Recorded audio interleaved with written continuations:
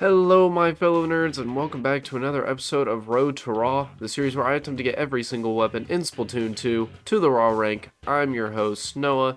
If you want to check out the rules for this challenge, they are in the description below. And without further ado, let's see what weapon we're going to be using.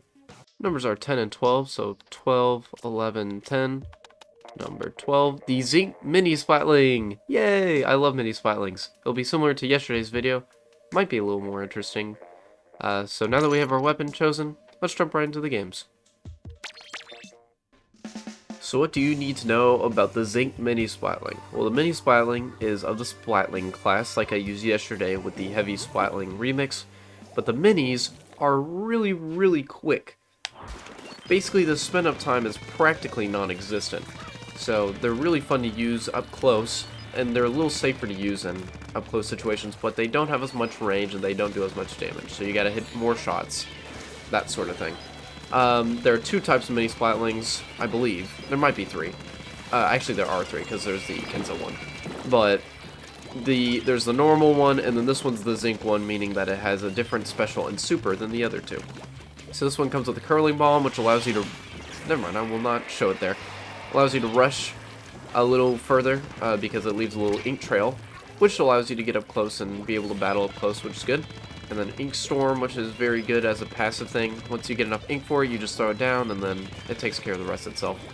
As such, I throw it down, and it'll spawn this huge ink cloud that rains ink down from above, deals damage, and gets ink on the floor. So, I do like this weapon a lot. I'm dead. By gay crab question mark, they are not sure.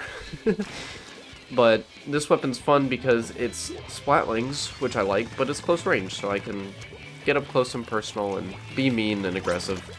It's fun. Uh, it might take me a few games to get used to it. Also, my hands are cold, not just literally, or not just metaphorically, but also literally, because I, A, haven't used this weapon in a while, and B, had to go fill up gas outside, and it's like 40 degrees outside. It's bad. There's two people down. Good start. Also, another thing that's important to know, the weapon is currently at a 1.0, so not at the usual 0.0, but we'll at least have a few games to enjoy it. Should be a good video, something I'm somewhat used to. Uh, let me see if I can, nope, I cannot. Ink Storm to you. There's someone down here, they are stuck in the corner. Come on, try to attack me. Oh. This is gonna suck, isn't it? Oh, but I got him. That actually shreds the shield pretty quickly. I'm impressed. Usually, that shield is extremely hard to break. But my friend Rift might have been helping me as well, which is nice. I believe there's someone, yep, right there. I could not reach them. They might be going around this way. Oh, hit him once. You do not have the range to take me out. You do, though. Oh, that's unfortunate. And they are dead. You, you went up. Yeah, no. I knew that was going to happen. I'm going to throw another one of these and almost missed it. That would have been very embarrassing. My I, my hand slipped. Misclick! It was a misclick. Let's see. I think we're going to take this one to the... Uh, to... It, it, we got it in the bag. It is in the bag. I was going to say something about a cash register. I don't know where that was coming from. But with the first game down, let's see how we did. I think that was an extremely solid game. I checked my points there at the end. I won't spoil it if you weren't looking. Very nice win. Like 95% of the turf was inked, which is very good. And wow. Oh my gosh. Me and Agent Trip 008. We we demolished. Good on points and very good on splats, so good first game. Start us off in the world of gaming today, or I guess this was yesterday, but I just forgot to mention in the video, but Mario Kart 9 was said to be in development, and that is extremely exciting because we've had Mario Kart 8 since the beginning of the Wii U, and its 9-year anniversary is next year, I believe, which is crazy. So, would it be too far-fetched to believe that the next Mario Kart could come out this year or next year? No, absolutely not. I really hope it comes out though, because I am desperate for some more Mario Kart content. I was really excited when they added the Breath of the Wild Link variant in Deluxe. I was like, oh, awesome, we're getting new stuff, finally. And then they just didn't do anything else. I was like, okay. Maybe they pulled a Breath of the Wild and said, so we had too many good ideas, so we decided we're just going to make a new game.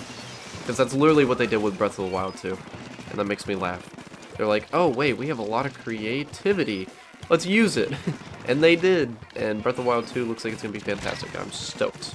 And I'm going to run away because that's a battle I can't exactly fight. Everyone is everywhere. Okay, you, sir. Actually, I'm going to throw this first so I don't waste it. Ow.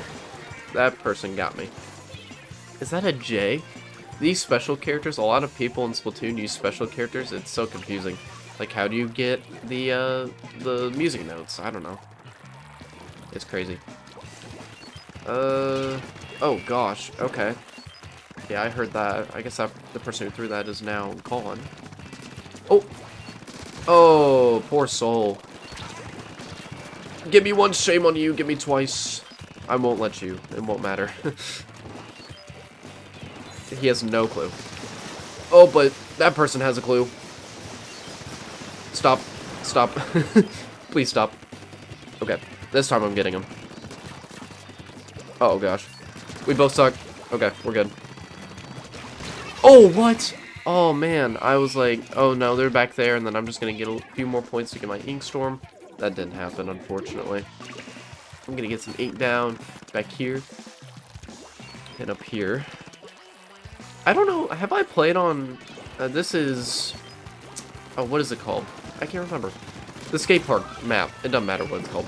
But I don't know if I played on it in the series yet. I've been playing on uh, Humpback Pump Track for so long.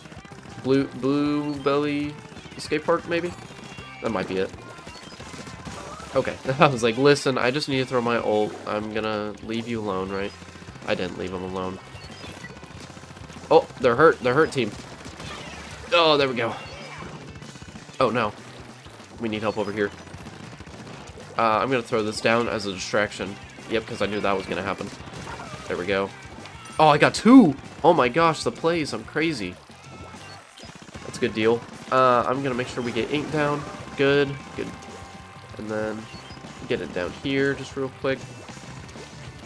I don't know how they aren't in the danger zone. We seem to have control over a lot of that. Let's take a look at the map. It looks like a win to me. and Yep, that's going to be quite an easy win. That will put us at 3.0 with two extremely good games to start. I'm very happy with that. Wow. Look at me at the top of the leaderboard. 10 spots again. Very good. I'm going to get back on the Mario Kart train because I, I, talked about it earlier and I have a ton of really cool ideas. So, back on the GameCube, they had Mario Kart Double Dash, where the whole gimmick of the game was that you would have two people in one cart.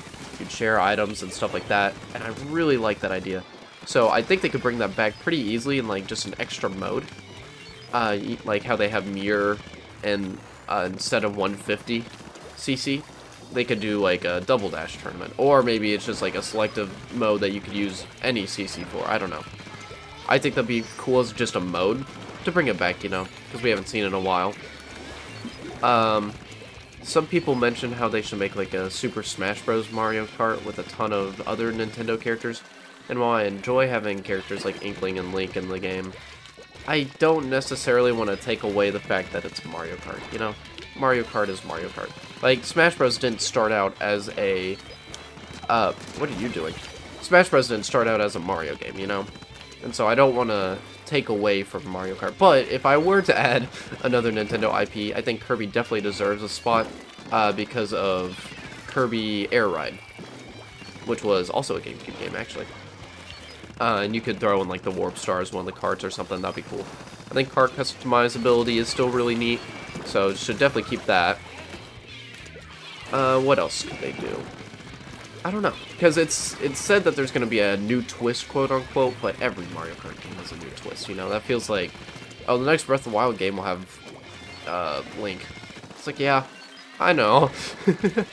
um, but I think they can do some really cool stuff with Mario Kart again. The anti-grav just felt like more racing, but in cooler environments, which I like a lot, and it made a lot of the courses feel very dynamic. But I wasn't, like, super invested in it, you know? It wasn't, like, this crazy, new, awesome thing. It was, like, driving, but everything else looks upside down. Like, okay, that's cool. But what else, you know? Like, Double Dash completely changes the way you play the game, but going reverse, or going upside down in anti-gravity is essentially the same thing as just playing the normal game. And I do like it a lot, don't get me wrong. I think it's a really cool idea, but it's just not very different from what we're used to. So what would my suggestion be? I don't know. Uh, I, I actually don't know, because I feel like there's a lot of stuff you could do, I don't know what you would do, you know? If I come up with any ideas during the games, I will be sure to mention them. But I'm saying I don't know genuinely because I have no clue what I'd add into the game. That looks like it's going to be a win for us. Let's take a look. Oh. Well, maybe if we got our base painted more, it would be a win. Oh, it's still win. By just, just a little bit. 0.3. Wow. Extremely close game. Of course, I, I popped off again. I haven't, like, played a game where I didn't do well. Man, maybe I need to, maybe I need to reconsider the mini splatling. maybe I'm better with it than I thought. We are currently at 4.0, so I will now take the time to reminisce on this weapon. I always really liked the mini splatling a lot. Um, just the weapon itself, not the sub or special. I think it's extremely powerful and it allows me to get up close with the weapon type that I like. Because the one thing that the Splatling fails at is that you have to charge it up, you know? But this one, the charge up is extremely quick and the payoff is immense. So I do like it a lot. The sub being the curling bomb, I can't really, I haven't really put it to good use yet, other than that one, like, cool double that I had, but I, I wasn't even using the thing correctly, you know? Excuse me. Okay. He's just gonna leave. Um, but I do like the Inkstorm. Any passive special I like just because I can throw it down and then continue to do my own thing, which is what this weapon excels at. I can do my own thing because it's extremely powerful. I'm gonna throw this here. And using a curling bomb with this weapon is pretty dangerous because you're putting yourself in danger of just rushing to, into a battle that you can't win. Which is scary. And so putting yourself in that disadvantage at the beginning of a fight is probably going to get you hurt pretty bad. But if you can make it work, then yeah, it's awesome. I can't fight that because I will get bonked immediately.